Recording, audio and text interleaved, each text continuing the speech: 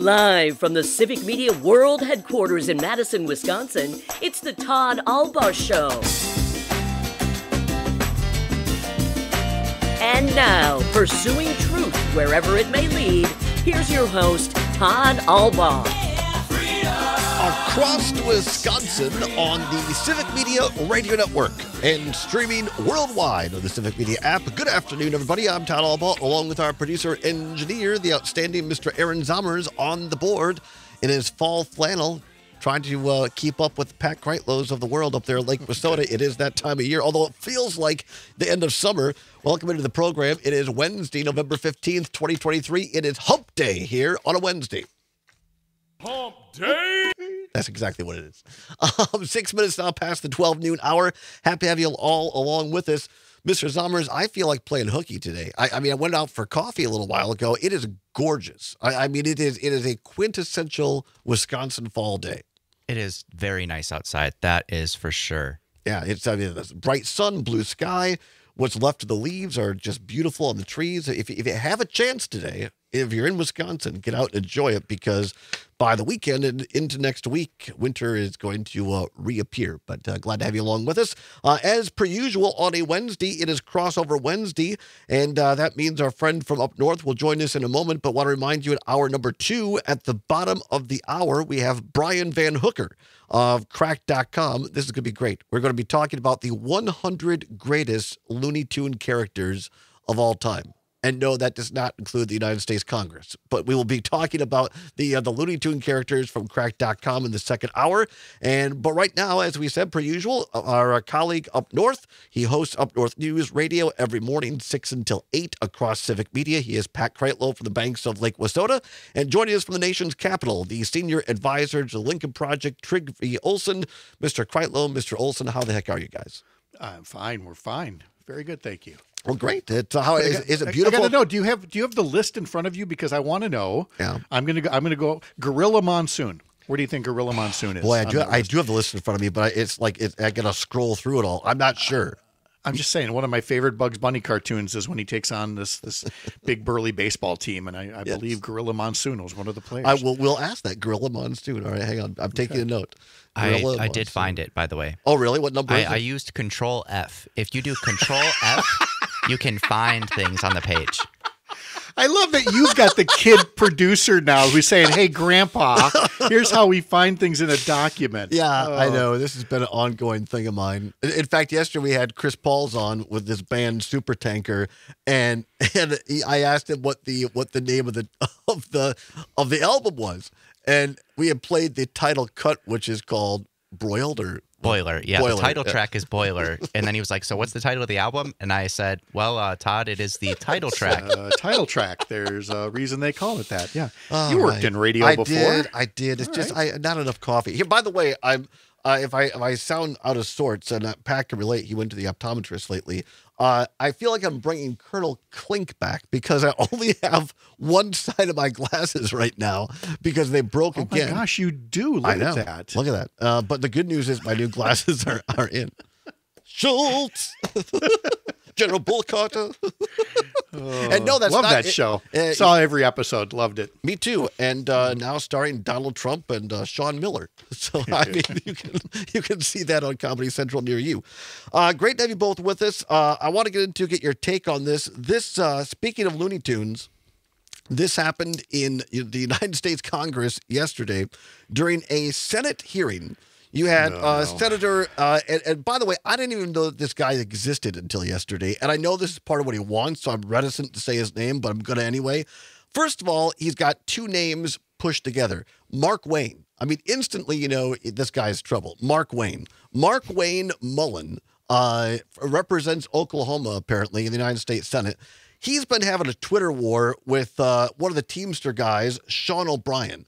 And yesterday, in a Senate committee hearing, Sean O'Brien from the Teamsters was a witness, and Mullin was questioning him and calling out these tweets. Bernie Sanders, yes, Bernie Sanders was the committee or is the committee chairman, and this is what happened, and hilarity ensued. like he's self-made. Sir, I wish he was in the truck with me when I was building my plumbing company. Myself and my wife was running the office. because I sure remember working pretty hard and long hours. Pretends like he's self made. What a clown. Fraud.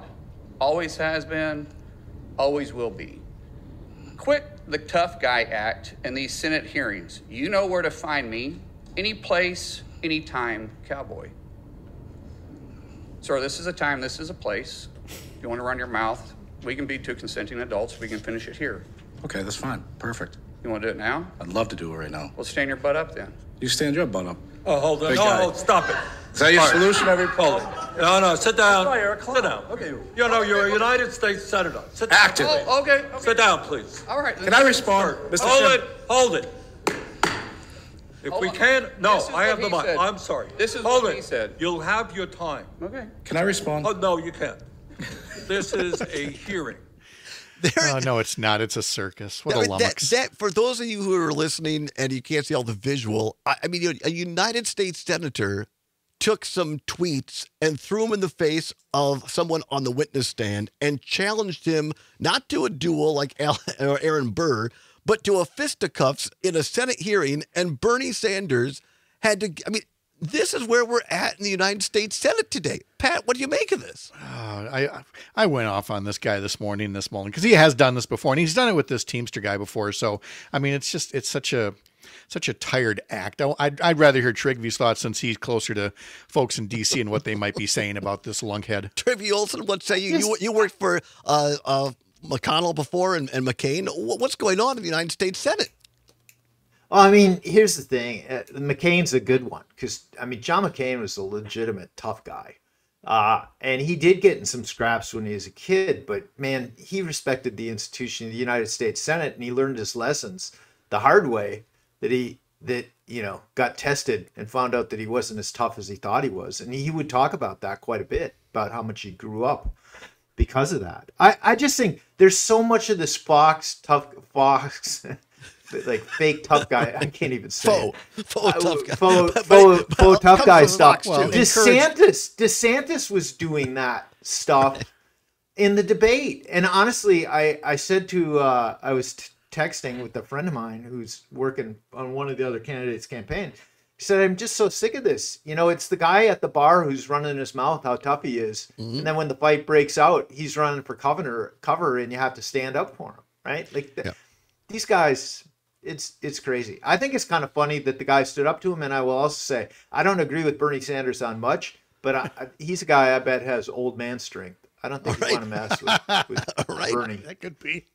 That could be. I, but what do, what do you guys make of it? I mean, uh, to Trygve's point, we've seen, and if you go on this this Yahoo, this United States Senator Mark Wayne Mullin, it sounds like a, it sounds like somebody who's going to you know race a, a big oversized four wheel drive. Come to the Coliseum, Mark Wayne Mullin driving you know Sunday, Sunday, Sunday.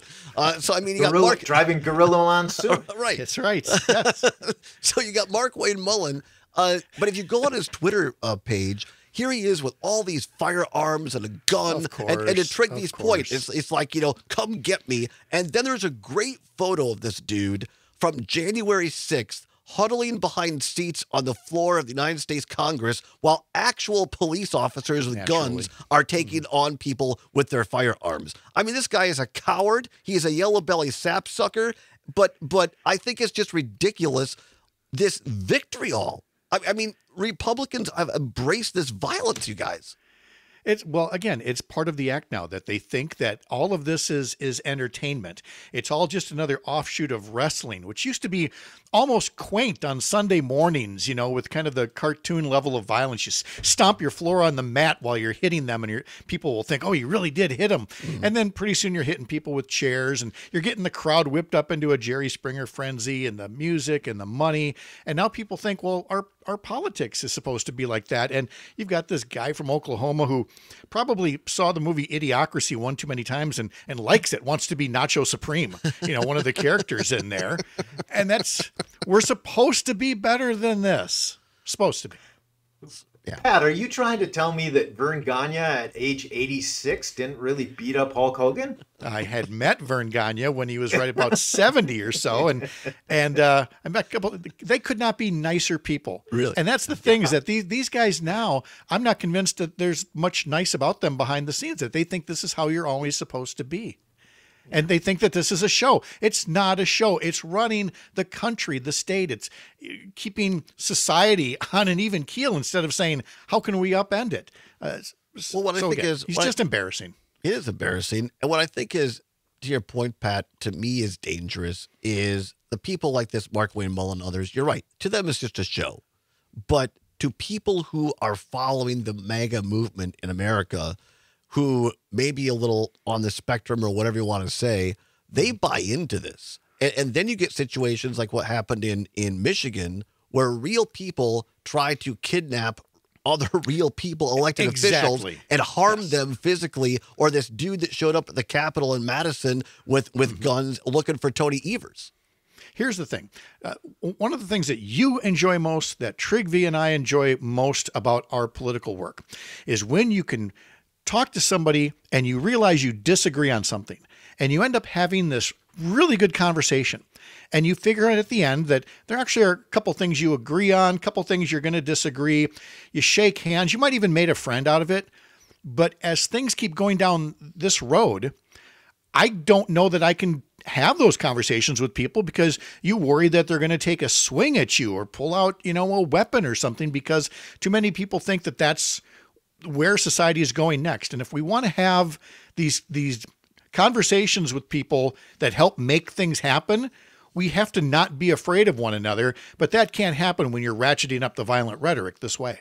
Trevor Noah has a new podcast, and we played this cut from him earlier this week on the show. Uh, it's called What Now? And he talked exactly about what you're saying, Pat, is that why are we? He he said he overheard somebody recently saying, you know, well, I wouldn't say this in public, but, or I wouldn't say this if I was being recorded, but. And, and Trevor Noah said, we've got to the point where we're now afraid to have the conversations about the mm. hard topics. And that's where we really get dangerous, where it just becomes dangerous to have a conversation. I will. I would. I would add though, having having worked in all these places where democracies have failed, democracy dies in silence of people who know better, and the autocratic actors want us to be afraid, and they they you know Donald Trump was doing a lot of autocratic intention signaling lately. Mm-hmm. It's an attempt to try and make people afraid, to to make them silent, to make them not want to have those conversations, to not have faith in each other. That's right. We'll continue to have conversations here and also on Up North News every uh, morning from 6 until 8 on Civic Media. You can find it on the Civic Media app. app. Pat Kreitlow, thank you so much. We appreciate you, my friend. See you later. Thank you. We'll see you back more See you, Pat. with, with Trygve on the other side. Don't go anywhere.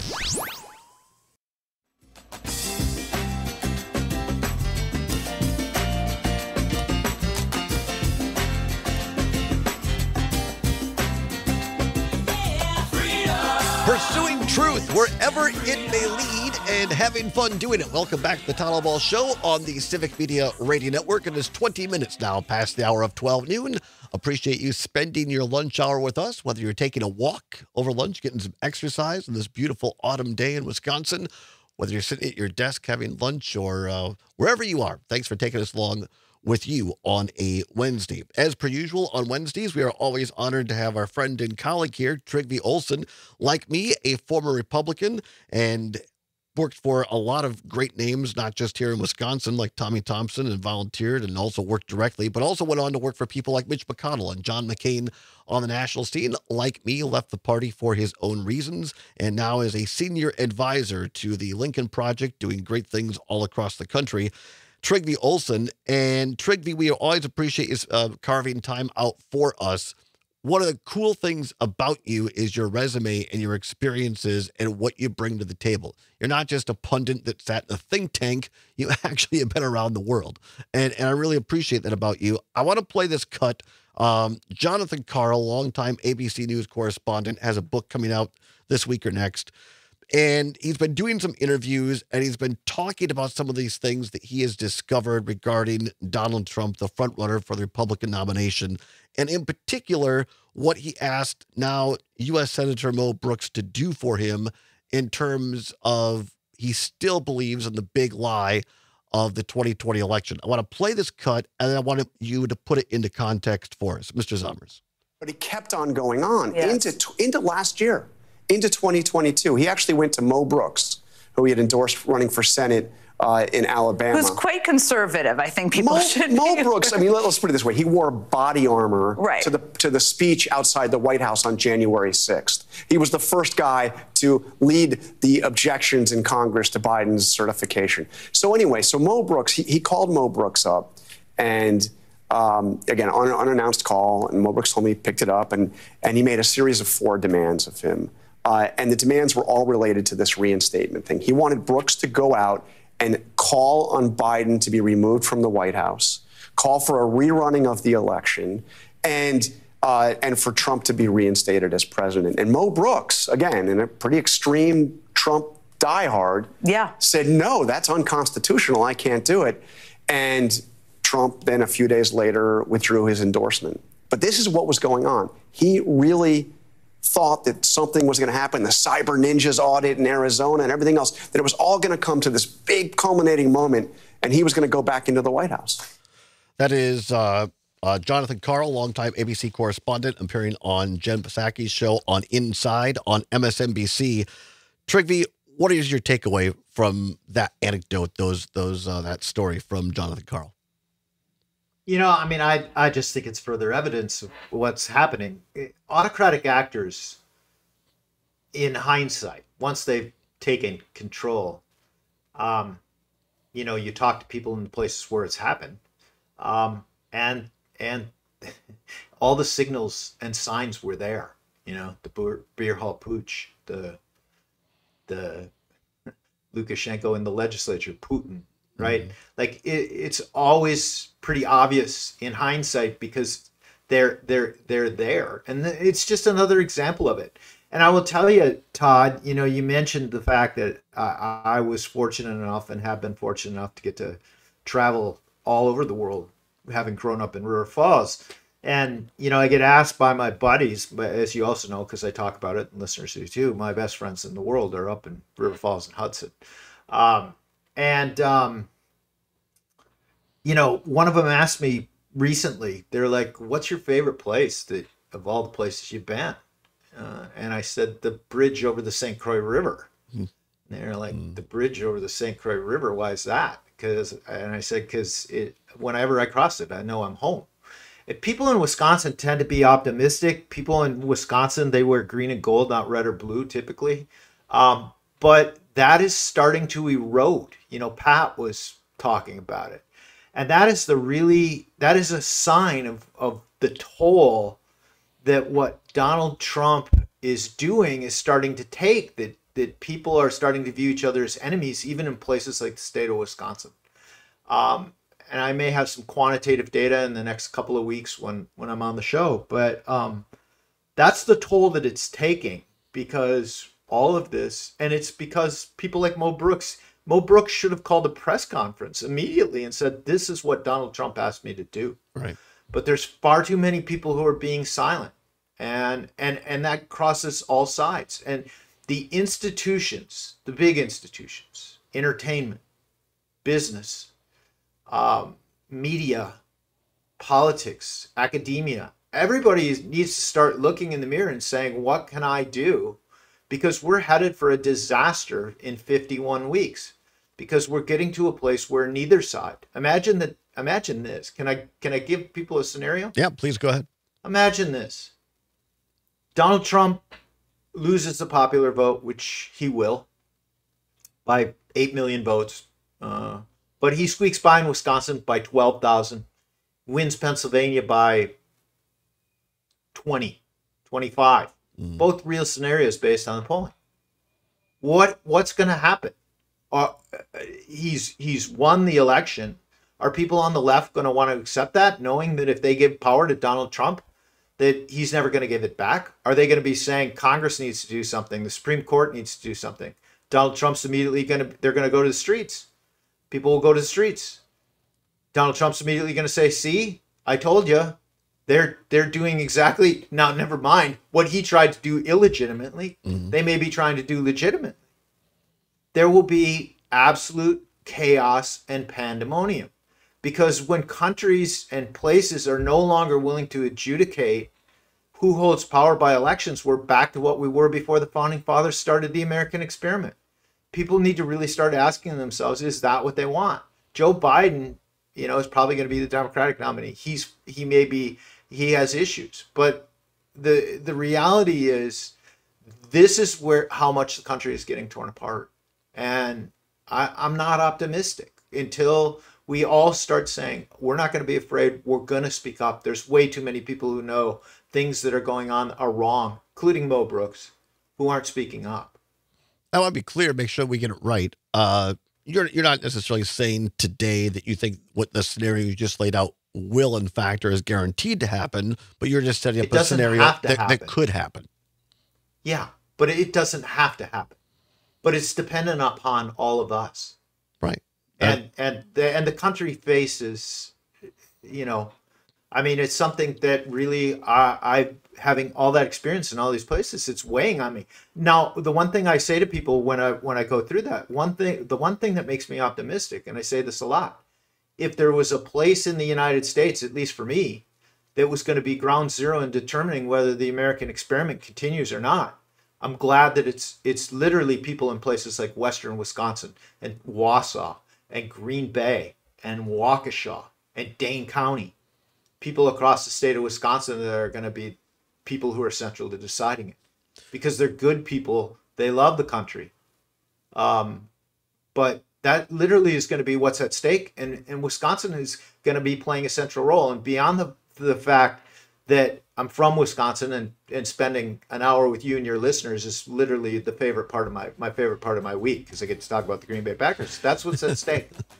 We'll talk about more what's on stake and also your phone calls 844 967 2789. Call in for questions for Trygve 844 967 2789 or text us on the app. We'll take those and talk more with Trygve Olson, the senior advisor to the Lincoln Project. After this, don't go anywhere. It's the Todd Allbaugh Show on the Civic Media Radio Network.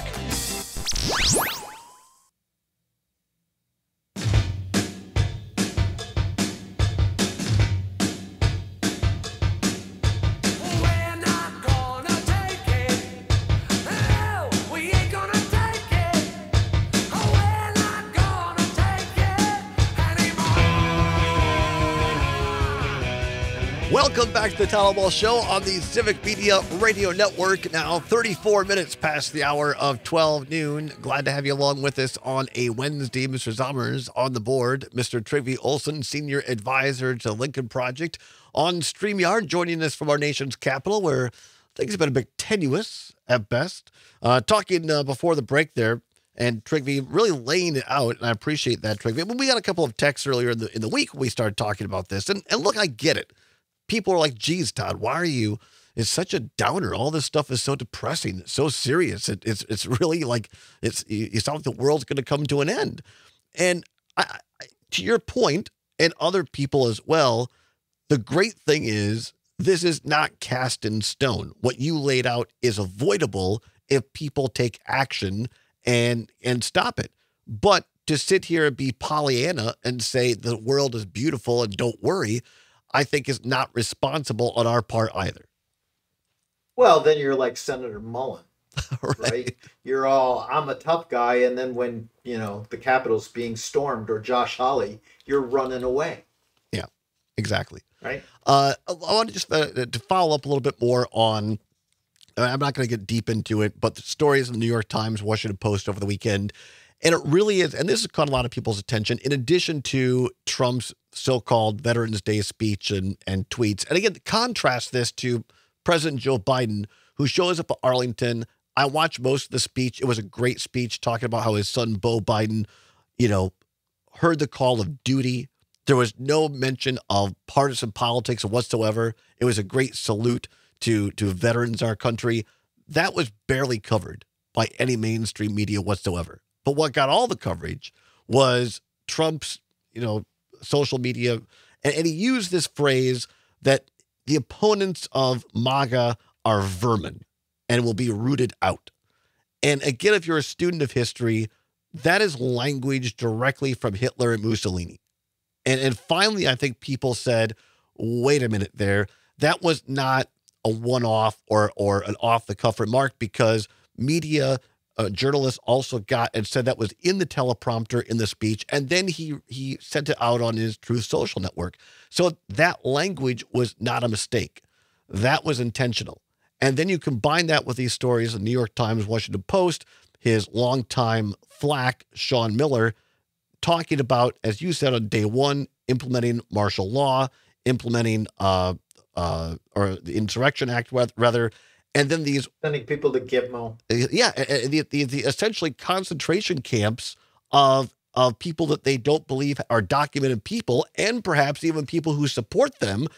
I, I mean, this we're not making this up. This is this is this is stuff that has been proven. This these are the plans of a second Trump administration. Do I have that right? You do. That's what they're again. You know, I had this tweet where I, I it was something Trump had retweeted. It was Capitol burning and him walking in, and I'm gonna something about stand. I'm gonna fix these people or whatever. Yeah. Um, and I I tweeted it out and made the point that you know it's autocratic signaling, and this is what they do. And I was saying that in the previous piece. That that is what's happening here. And and I will tell you, you know, I worked years ago on one of Angela Merkel's campaigns, and I, I spent a fair amount of time in Germany. Made a bunch of great friends. Went to Oktoberfest, which was mm. awesome. I'm sure it was. Got to do a bunch of things where I woke up and was hungover and thought, how did I go from River Falls to here? But I will tell you, when you're in Berlin, what what you you discover two things. One, Germans are the most sane, rational people you'll encounter.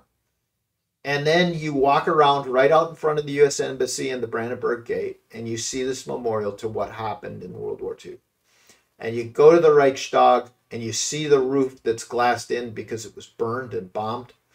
And you walk around and you see these letter boxes that every member of parliament gets and there's a bunch of them painted in red with famous names like Hitler and Eichmann and Goebbels and all these people.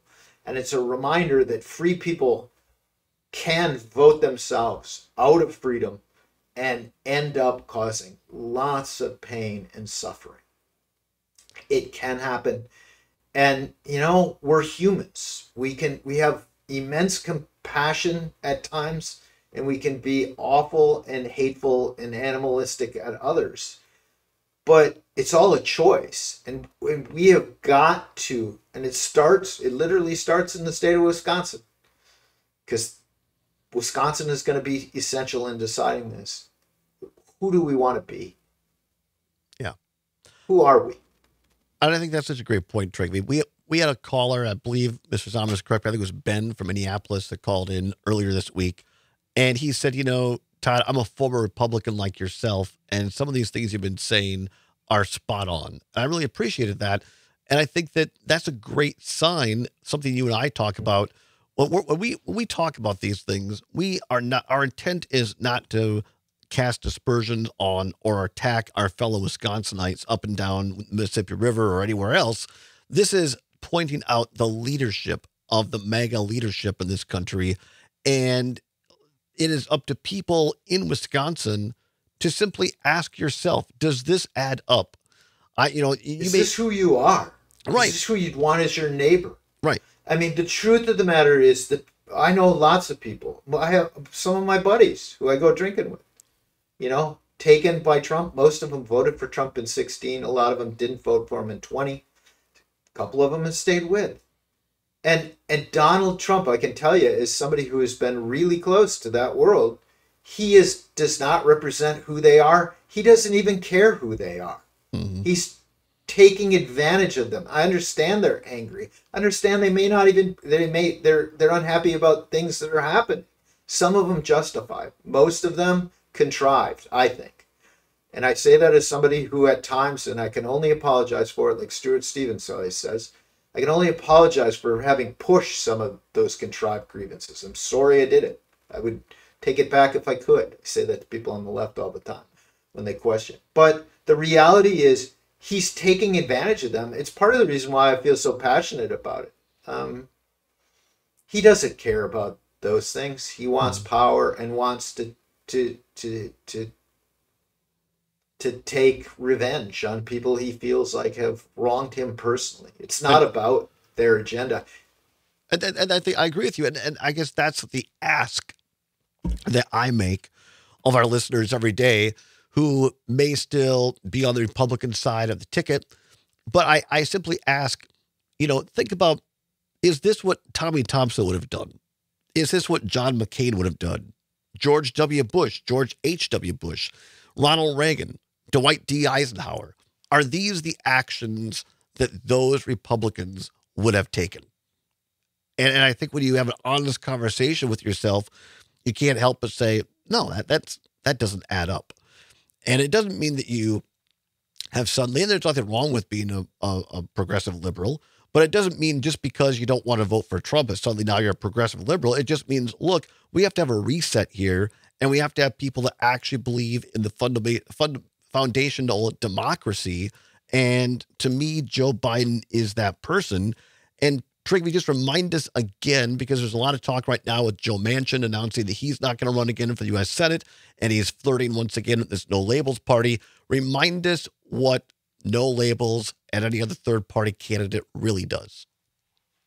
Well, I mean, they have the potential to really complicate the situation because the truth of the matter is we kind of have a day of reckoning and they they they create an option where if you were having to choose between Trump or Biden and it's a binary choice, you're really choosing America as you've known it or something different that's not America as you've known it. And um, you know, multiple options become become a situation where people don't have to make hard choices and that may ultimately end up enabling probably would Donald Trump to to win. And, and I think a lot of people get frustrated. I know there are people, friends of mine, who are like, look, I don't like either one of them. I don't like either side. I'm sick of the partisanship and we need something different. I hear that. I understand it. But if we look at history, and you and I, Trygve, you even more so than I, know the realities of politics today. And for a variety of reasons, whether it's Citizens United or the money or the strategery, there there is just no way that a third party person has a chance to win this election. Am I right or wrong about that? I mean, I, I, I would never say never, but I think I think if you make that decision out of emotion rather than thinking strategically, what you may end up be doing is casting a vote for for the candidate that you don't like that would change the country. I mean, the, but I would also say for you know I know we have progressives who are listening. You know, I have seven rules for dealing with autocrats. You can find it on Twitter. They're shaped by my work with Russians and Belarusians, Venezuelans. They really were written for them, and I never thought they'd be applicable in the states, but they are. But you know, rule number three is don't hand the other side battering rams with which to beat you. And if you're a progressive, you you really need to think about how do you not hand battering rams to Donald Trump and his forces. And you may be angry with Biden about policy choices that he's making or feel like he hasn't done enough. But the truth of the matter is, if you stay home or you're not involved going out knocking on doors and doing things, you're you're in essence empowering and doing what Donald Trump wants you to do, which is be angry with Joe Biden when the person you should be angry with is the person who's literally talking, you know, quoting Adolf Hitler and and wrapping himself in what he's going to do to people like you. We're talking to Trygve Olson. He is the senior advisor to the Lincoln Project, like me, a former Republican, grew up in River Falls, Wisconsin, worked all around the world, and uh, is now joins us each and every Wednesday. If you have a question for Trygve, give us a call, 844 967 2789, 844 967 2789. You could also text us on the Civic Media app. Trygve, uh, a lot of people didn't uh, uh, pay attention to it because a lot of people didn't even know he was in the race, but uh, the GOP field for president got a little smaller this week. Uh, Tim Scott decided to uh, to bow out. This Who? yes, Mr. Summers. Who? Tim Scott. um, yeah, Tim Scott got out of the race. That's not surprising. I mean, listen, it's going to be interesting to see. You know, do the do the Republicans avoid? I mean, I think you know, Vivek's going to stay in regardless because it's an ego trip. And quite honestly, maybe he's a Manchurian candidate to try and help Trump. But it, it's going to be really interesting because I think, you know, it's really going to come down to Nikki Haley and Ron DeSantis. And one of them, are they willing to get out? And DeSantis is now to fourth place in New Hampshire. Um, you know, I we'll see. Uh, I think um, you know the only way that Trump gets seriously challenged is if if one person emerges against him. Right. Everybody kind of Uh, rallies around an and, I- alternative. and even then, I I don't I don't really foresee that happening. Although you know maybe it could. I know they're amongst thinking Republicans because one of them called me recently uh, to talk about my mom. Um, just says they were sorry. Um, you know they're really struggling with Mhm. this because they understand that Trump is bad, and Yeah. you know Uh, let's go to the phone lines quickly 844 967 2789. Karina from Milwaukee. Karina, just about a minute left. Uh, what's your question for Trygve? Um, the Trump is, is scary and and delusional and and and a hyper. I mean, everything that you can say about the human being, he has it. What I'm worried about right now, guys, and it's from Republican side of the deal, that the new speaker we have, uh, um, he's he's pushing for a constitutional uh, um, rearrangement or just changing the constitution, and the Walker comes out and says, "Oh, the Wisconsin is for it." Can you talk about that? Because I don't, I don't get it. I mean, how is it that we're giving a power, a practically unlimited power, to someone to say, "Yay, a whole Wisconsin is going to do this. We are for a new constitution." Right. That's not true. Appreciate the call, Karina. Spot on. Once again, Scott Walker has been brought back in the conversation on Wednesday. Imagine that. We'll have Trygve's response on the other side. Don't go anywhere. This is the Todd Allbaugh Show, and this is the Civic Media Radio Network.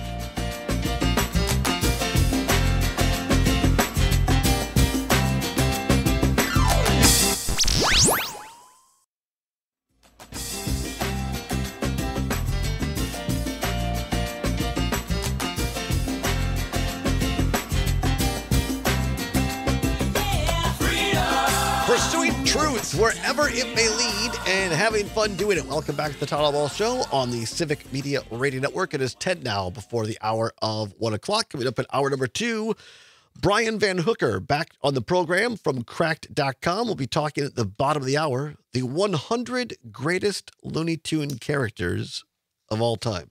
One of them I'd forgotten until I remember Blacque Jacque Shellacque.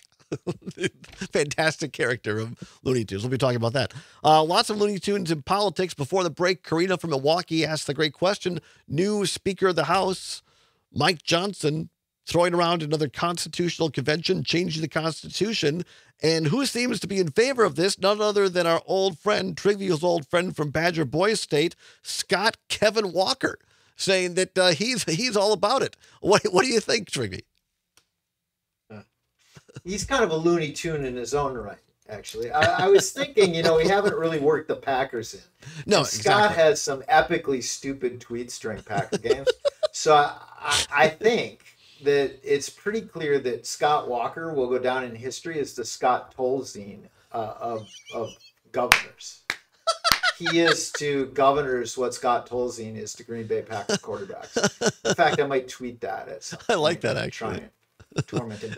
Anyway, uh, yeah, you know, I mean, they like to talk about this. Again, this is one of those things that requires diligence. Do I think that they would like to have a Constitution convention and open up the the the Constitution? Yeah, I think they probably would. And I will tell you again, I think it's more autocratic autocratic signaling. I mean, you know, look at Putin, Lukashenko, all these guys, when they run up against the Constitution, then they hold referendums to amend the Constitution so that, you know, well, I can only serve two terms, but I literally, in Lukashenko's case, it said Alexander Lukashenko can serve more than two terms. literally wrote it into the Constitution. Wow. That, you know, that is because it's a guardrail. They attack guardrails, Right. but they attack them one at a time. And it, you know, it's the old you know, post, you know, World War II saying first they come for the Jews, and I said nothing because I'm not Jewish. Then they came for the gays, and I said nothing because I'm not gay. Then they came for me, and there was no one left to stand with me. Right? Like Yeah. That that I paraphrased that. Right, right. It's a paraphrase, but the- the- but the anyway, point is- yeah. Bonhoeffer, I think. Um, anyway, the you know they would like to open up the Constitution. I wouldn't worry too much about what Scott Walker is saying. You know, he's basically a conservative lounge act at this point. So, you know, Well, sad So- news. The uh, the silver dollar announced they're uh, they're tearing the building down here off the Capitol Square. So you Are can't, you, yeah, you can't you can't catch Scotty uh, doing his lounge act at the at the silver dollar. no, that is sad. Well, I mean, honestly, that is what he is. He's out at the Reagan Ranch doing, you know, whatever. He's Oh. kind of the Hall and Oates of Wisconsin politics. I can't go for that. No can do.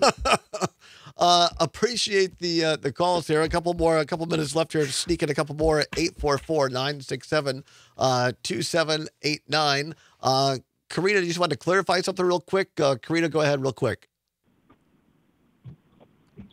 Karina, go ahead real quick.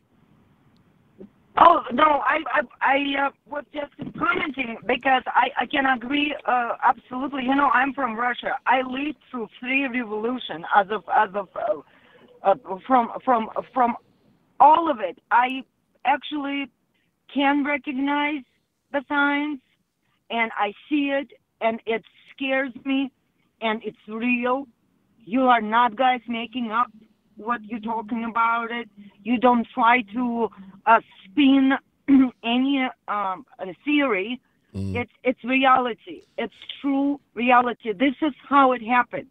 It's, Karina, it's- I it- appreciate- it happened in my country, and I left the country, and I'm coming here, and they have exactly the same thing. Well, we love you being an American here, Karina. Welcome. We thank you so much. Thank you for your perspective and thank you for calling back. I want to go quickly. Uh, Tom and McFarland calling in. Tom, about a minute and a half left here. Go ahead, Tom. Uh, just to also add to the Constitutional Convention, I think that uh, we don't want to underestimate this. I think where the one speaker is coming from is the state of Wisconsin signed on to the Constitutional Convention. Uh, boy, it was a couple of years ago. The state legislature uh, signed on to that, and it's just just a couple more states away from this being a reality. It also Yeah. speaks to how we want to make sure that our elections they matter. They matter a great deal um, on much bigger, deeper issues than just what's right in front of us. And I would say that the uh, legislature signing on to the convention is Exhibit A for why we need to have fair maps. Because I can guarantee you that if we had fair maps, that would have been shot down fairly instantaneously. Tom, thank you so much. So when they're saying that the state, oh, no, go ahead. Quickly. Yep. well, just uh, when they say that the state of Wisconsin is for this, it's better to say the legislature is for this. And I think that the last polling that was done on the convention, the majority of the state, you know, the people, they're not for this. But when was the last time the legislature ever actually passed something that the state of Wisconsin, the people, actually favored? Appre- appreciate it, Tom. Thank you so much. Tom McFarland, really appreciate it. About uh, two minutes left, Trygve. Uh, what say you? Yeah, I mean it is it is I didn't mean to make light of the fact that that that there is a whole effort and there has to be incredible diligence paid to that and the case needs to get made out and Tom is spot on the the the um the legislature, you know, did sign on to it and you know, they would love to get the constitution opened up. Yeah. No doubt. Um it's ironic really because they all sit and profess how important the constitution is you know, to our other caller from Milwaukee, uh, you know, she, people like that, she's lived it and she understands how it can happen.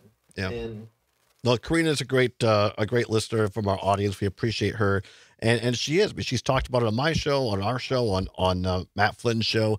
You know, moving here from Russia because she wanted to escape much of this, and now she gets so frustrated because she finds herself facing the same things here in her new country. Yeah, I Yep. can't. I can't and imagine. this is the place where it's not supposed to happen. And the great but news it can happen here. It can happen here, but again, the positive news is we're still at a point where we can change that if we all participate, if we all make sure we're registered, if we all go and vote and, and get our vote in. uh, you know, democracy can still continue to sur- survive into the future. Yes, and it can't happen here if there's people in the state of Wisconsin. It's one of the places where they can stand up and ensure that it does. Uh, Trygve, about a minute left here. Uh, any quick thoughts on? Uh, well, actually, less than a minute. Uh, a minute. Uh, uh, any quick thoughts on on? Uh, I'm sorry, it's 20 seconds. Zommers is shaking his head. We haven't got time to get into the Packers. I'm sorry. Jordan Love, he's all right. Really, he's okay. Yeah, All right. he's good. I agree. Trygve loves him some Time. Jordan Give Love. him time. time. Always a great time with our friend Trygve Olson, senior advisor at the Lincoln Project. Find him on Twitter or Insta or all the other socials. Thanks, Trygve. Appreciate you. Yep. Thank you. Back after this. Don't go anywhere. The Allbaugh Show on Civic Media.